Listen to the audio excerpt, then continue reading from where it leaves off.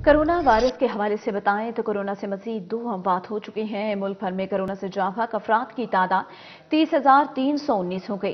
चौबीस घंटे में कोरोना के मजीद पाँच सौ चौदह केस रिपोर्ट। मुल्क भर में कोरोना मरीजों की तादाद पंद्रह लाख बीस हज़ार छह सौ चौंतीस हो गई। मुल्क में कोरोना के एक्टिव केसेज की तादाद सत्रह हज़ार चार सौ सतासी है। एनसीओसी के मुताबिक कोरोना से मुतासरा पाँच सौ छियालीस मरीजों की हालत जो है वो तशवीशनाक है। मुल्क में कोरोना मरीजों की तादाद पंद्रह लाख बीस हज़ार छह सौ चौंतीस हो गई। है। कोरोना से सेहतियाब अफराद की मजमू तादाद चौदह लाख बहत्तर हज़ार आठ सौ अट्ठाईस है। मुल्क में कोरोना मुस्बत केसेज की शरह एक आशारिया तीन तीन फ़ीसद रही। मुल्क भर में 24 घंटे के दौरान कोरोना से मजीद दो अमवात हो चुके हैं। मुल्क भर में 24 घंटे के दौरान जाबक अफराद की जो कुल तादाद है वो तीस हज़ार तीन सौ उन्नीस हो गई। 24 घंटे में कोरोना के मजीद 514 केस सामने आ गए हैं। मुल्क भर में कोरोना मरीजों की तादाद पंद्रह लाख बीस हज़ार छह सौ चौंतीस है। मुल्क में कोरोना के एक्टिव केसेस की तादाद सत्रह हज़ार चार सौ सतासी, जबकि 24 घंटे में कोरोना के पाँच सौ सैंतीस मरीज़ सेहतियाब हो चुके हैं। कोरोना से सेहतियाब अफराद की मजमू तादाद चौदह लाख बहत्तर हज़ार आठ सौ अट्ठाईस है। मुल्क में कोरोना मुस्बत केसेस की शरह एक आशारिया तीन तीन फ़ीसद रही।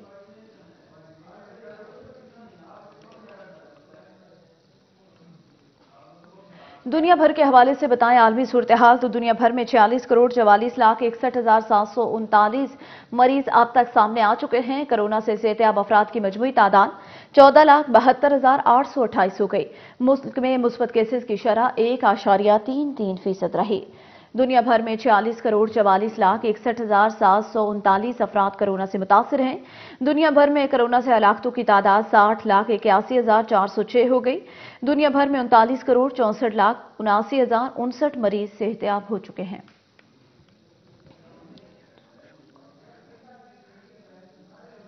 वज़ीर आज़म इमरान खान की जनूबी कोरिया के यौन सोक योल को सदर बनने पर मुबारकबाद। वज़ीर आज़म की जानब से जनूबी कोरिया के नए सदर के लिए नेक तमन्नाओं का इजहार किया गया। जनूबी कोरिया के साथ मज़बूत दो तरफा ताल्लुकात का खाहा है, वज़ीर आज़म इमरान खान का, ऐसा कहना था। अपडेट करें, वज़ीर आज़म इमरान खान की जनूबी कोरिया के योन सोक योल को सदर बनने पर मुबारकबाद वज़ीर आज़म की जानब से जनूबी कोरिया के नए सदर के लिए नए ख्वाहिशात का इजहार। जनूबी कोरिया के साथ मज़बूत दो तरफा ताल्लुकात के खाहा हैं, ऐसा कहना था वज़ीर आज़म इमरान खान का।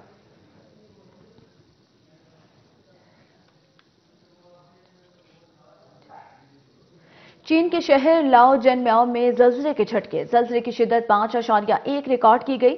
जल्जला पैमा मरकज का बताना है मुतहदा अरब अमारात की मुख्तलिफ़ रियासतों में भी जल्जले के झटके महसूस किए गए। ईरान के भी कई शहरों में जल्जले के झटके, जल्जले का मरकज। ईरानी साहिली शहर बंदर लंगा के करीब था। जल्जले की शिदत पाँच आशारिया आठ रिकॉर्ड की गई। टोक्यो, जापान में जल्जला एक शख्स हलाक हो गया। सत्तर अफराज जख्मी हैं। चीन के शहर लाओ जिनम्याओ में जल्जले के झटके, जल्जले की शिदत पाँच आशारिया एक रिकॉर्ड की गई।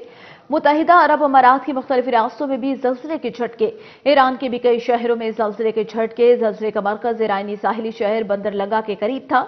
जल्जले की शिदत पाँच आशारिया आठ रिकॉर्ड की गई। जापान में जल्जला एक शख्स हलाक, सत्तर अफराद जख्मी हो गए।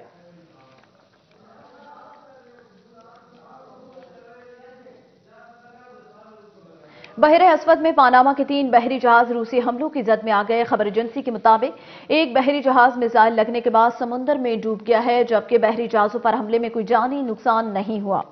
अपडेट करें, बहर असवद में पानामा के तीन बहरी जहाज़ रूसी हमलों की जद में आ गए। खबर एजेंसी के मुताबिक, एक बहरी जहाज़ मिसाइल लगने के बाद समुंदर में डूब गया।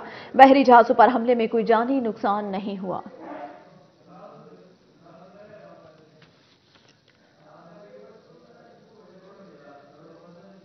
अमेरिका का यूक्रेन के लिए 80 करोड़ डॉलर की इजाफी इमदाद का ऐलान किया गया।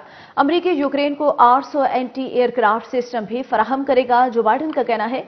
एंटी एयरक्राफ्ट सिस्टम देने का मकसद रूस के फिजाई हमले रोकना है। अमरीका यूक्रेन को ड्रोन्स और 800 एंटी एयरक्राफ्ट सिस्टम भी फराहम करेगा। अपडेट करें, अमेरिका का यूक्रेन के लिए 80 करोड़ डॉलर की इजाफी इमदाद का ऐलान अमेरिकी सदर जो बाइडन कहते हैं। अमेरिका यूक्रेन को 800 एंटी क्राफ्ट सिस्टम भी फराहम करेगा। एंटी क्राफ्ट सिस्टम देने का मकसद, रूस के फिजाई हमले रोकना है। अमेरिका रूस को ड्रोन्स और 800 एंटी क्राफ्ट सिस्टम भी फराहम करेगा।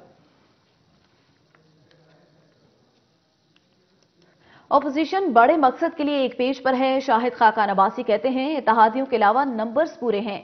दावा कर दिया, कप्तान का जाना ठहर गया। शाहिद खाकान अबासी की प्रोग्राम सच्ची बात में गुफ्तगु। वोटिंग के अमल में खलल डाली गई तो आर्टिकल छह लगेगा। सबक वज़ीर आज़म ने बड़े मकसद के लिए परवेज इलाही को वज़ीर आला बनाने पर रजामंदी ज़ाहिर कर दी। हर मुश्किल का सामना करने को तैयार है। सबक वज़ीर आज़म शाहिद खाकान अबासी बने प्रोग्राम सच्ची बात के मेहमान। Chief editor Roznama Pakistan S K Niazi ने किए मुश्किल सवाल सीनियर लीगी रहनुमा ने दिए दिलचस्प जवाब शाहिद खाकान अबासी ने कहा, आज अपोजिशन बड़े मकसद के लिए एक पेज पर है। हुकूमती इतिहादियों के अलावा हमारे नंबर्स पूरे हैं। फैसला हो गया, इमरान खान को घर जाना होगा। कप्तान कुर्सी बचाने के बहाने कर रहा है। कहा, इमरान खान की मिसाल ऐसे बच्चे की तरह है जो आउट होने के बाद रोता है और कहता है, मैं नॉट आउट हूँ। आज हम एक बड़े मकसद के लिए इकट्ठे हैं। और हमने उसके सबने कुर्बानियाँ दी उसके लिए। अपनी सीटें भी कुर्बान करने को तैयार है इकतदार भी कुर्बान करने को तैयार है। आप हार गए हैं बात खत्म हो गई है अब मुल्क को आगे चलने दें। नहीं तो कैसे हार गए अभी तक तो इतना बात हुआ नहीं है। हार गए आदमी होते तो एक सौ इकहत्तर आदमी खड़े करके प्रेस कॉन्फ्रेंस करते अदम एतमाद वही खत्म हो जाता। मुल्क में तो यही है ना मैं यही कह रहा हूँ जिसको मुल्क की परवाह हो ये बातें नहीं करता जो हमारा प्राइम मिनिस्टर कर रहा है। नहीं तो वो तो कुर्सी की परवाह है मुल्क की नहीं है। शाहिद खाकान अब्बासी का कहना था कि अगर हुकूमत ने अदम एतमाद पर वोटिंग के अमल को रोका तो आर्टिकल सिक्स लगेगा। जब एक साइड पर एक सौ नब्बे अरकान बैठे होंगे तो स्पीकर की क्या ज़रूरत के गैर आईनी इकदाम करे। चाहते हैं स्पीकर दो या तीन दिन में अदम एतमाद पर वोटिंग करा लें। तो नहीं शाह साहब अब होना क्या है? आप ये बताएँ ना कि अदम एतमाद वाले दिन अगर वो मुल्क में अफरा तफरी जो मचनी है तो ये इसको कैसे कोई अफरा तफरी नहीं मचेगी। कोई अफरा तफरी ये बढ़के हैं। ये सब बढ़के जब आर्टिकल सिक्स का आपको ये पाकिस्तान तो यहीं पे है ना ये आप आर्टिकल सिक्स लगेगा। आज ही लगेगा कल लगेगा कल नहीं लगेगा परसों लगेगा। मामला बद से बदतर होते जा रहे हैं। तो इस जो है सिलसिला इसको जल्दी वाइंड अप नहीं होना चाहिए। बिल्कुल होना चाहिए। ये भी हुकूमत इख्तियार में गो म गो की सूरत इख्तियार में है। कल सुबह बुला लें असेंबली का इजलास। कल वोट करा लें एडमिशन पर, तीन दिन बाद वोट करा लें मोशन पर, बात खत्म हो जाएगी। एस के न्याजी की जानब से पूछे गए सवाल का जवाब देते हुए शाहिद खाका नबासी ने कहा कि मकसद बड़ा है, इसलिए अगर मुतहदा अपोजिशन की जानब से चौधरी परवेज अलाही को वज़ीर अला बनाने का फैसला हुआ तो काबिल कबूल होगा। सबक वजी अजम का कहना था कि जाती राय है कि अदम एतम की कामयाबी के बाद आम इंतबात हों। इलेक्शन के बाद वज़ीर अला पंजाब अक्सरियती जमात का होगा। काफ लीग को वजारत आला आपने कह दी है? पंजाब लीग जो वजारत आला ये पंजाब की वजारत आला। बहुत पंजाब अभी नादम एतमाद हुआ है वहाँ एक गो बगो की कैफियत नहीं नहीं अदम एतमाद कामयाबी की सूरत में देनी है जब अदम एतमाद होगा तो उस वक्त देखी जाएगी। अच्छा अभी फैसला नहीं अपोजिशन फैसला करेगी इस वक्त अपोजिशन इकट्ठी है। अदम एतमाद अपोजिशन इकट्ठा कर रही है। नहीं अपोजिशन अगर फैसला कर देती है कि वजारत आला दी जाएगी। दे मसला नहीं है कोई मसला नहीं। अगर इलेक्शन भी हो जाते हैं तो फिर भी आगे पंजाब की वजारत आला परवेज लाई को आप दे देंगे।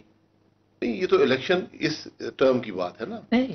शाहिद खाकान अबासी ने शेख रशीद की धमकियों का जवाब देते हुए कहा कि पार्लियामान को मज़ाक नहीं बनाना चाहिए तीसरा रास्ता नहीं देख रहा जो भी मुश्किल आई सामना करेंगे। सबक वज़ीर आज़म शाहिद खाकान अब्बासी के प्रोग्राम सच्ची बात में पेश गोई। अदम अतमाद कामयाब होते ही फवाद चौधरी पहली गाड़ी पकड़ेंगे। फवाद चौधरी और शेख रशीद का घर इस्लामाबाद के करीब भागने में आसानी होगी।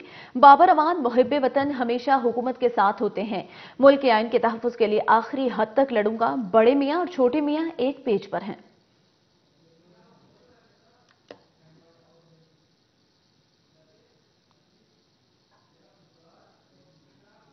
अब तक के लिए इतना ही, मजीद खबरों और अपडेट्स के लिए देखते रहिए रोज न्यूज़।